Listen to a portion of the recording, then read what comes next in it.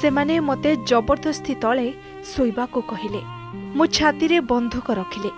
ମୋ ଅନିଚ୍ଛା ସତ୍ତ୍ୱେ ମୋ ଦେହକୁ ଭୋକିଲା କୁକୁର ଭଳି ଝୁଣି ଖାଇଲେ। ଜଣଙ୍କ ପରେ ଜଣେ ତାପରେ ଆଉ ଜଣେ। ଖାଲି ମୋତେ ନୁହେଁ ମୋ ସହ ଥିବା ମୋ ଭଉଣୀକୁ ମଧ୍ୟ ବଳାତ୍କାର କଲେ। ମୁଁ ହାତ ଯୋଡ଼ିଲି ନେହୁରା ହେଲି ଗୋଡ଼ ତଳେ ବି ପଡ଼ିଲି। ହେଲେ ସେମାନେ ଶୁଣିଲେନି। ମୋ ସହ ମୋ ଛୋଟ ଛୁଆ ବି ଥିଲା। ମୁଁ କେବେ ଆଶା କରିନଥିଲି ମୁଁ ବଞ୍ଚିବି ବୋଲି। ହେଲେ ବଞ୍ଚିଗଲି। ବିବତ୍ସ କୁଶ୍ଚିତ ଯୌନ ହିଂସାର ଚିତ୍ର ସୁଦାନର ଖାର୍ତୁନରେ ଗତ ଏପ୍ରିଲଠାରୁ ସେନା ଏବଂ ରାପିଡ୍ ସପୋର୍ଟ ଫୋର୍ସଙ୍କ ମଧ୍ୟରେ ଯୁଦ୍ଧ ଚାଲିଛି।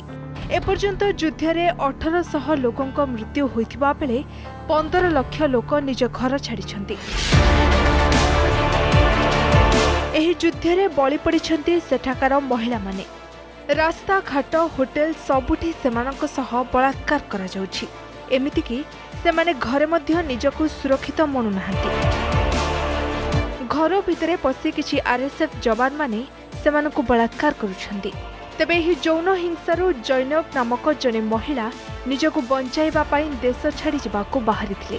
ସାଙ୍ଗରେ ଥିଲା ନବଜାତ ଶିଶୁ ଏବଂ କିଛି ମହିଳା ହେଲେ ଆର୍ଏସ୍ଏଫ୍ ଯବାନମାନେ ତାଙ୍କୁ ଅଟକାଇ ଦେଇଥିଲେ ସେମାନେ ଜୈନବକୁ ଏବଂ ସେ ମହିଳାମାନଙ୍କୁ ଏକ ଗୋଦାମକୁ ନେଇଯାଇଥିଲେ ସେଠାରେ ଜଣେ କମାଣ୍ଡର ଥିଲେ ଯେ ଜୈନବକୁ ତଳେ ଶୋଇବାକୁ ଆଦେଶ ଦେଇଥିଲେ ଆଉ ଏହାପରେ ଜଣକ ପରେ ଜଣେ ବଳାତ୍କାର କରି ଚାଲିଥିଲେ କେବଳ ତାଙ୍କୁ ନୁହେଁ ତାଙ୍କ ଭଉଣୀକୁ ମଧ୍ୟ ବଳାତ୍କାର କରିଥିଲେ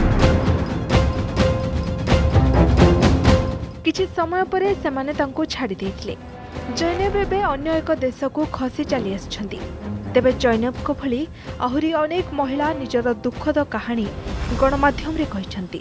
ଆଉ ଏହା ମଧ୍ୟ କହିଛନ୍ତି ଯଦି ସେମାନଙ୍କ ପ୍ରକୃତ ନାଁକୁ ଗୋପନ ନ ରଖାଯାଏ ତେବେ ସେମାନେ ତାଙ୍କ ପରିବାରର ସମସ୍ତଙ୍କୁ ମାରିଦେବେ।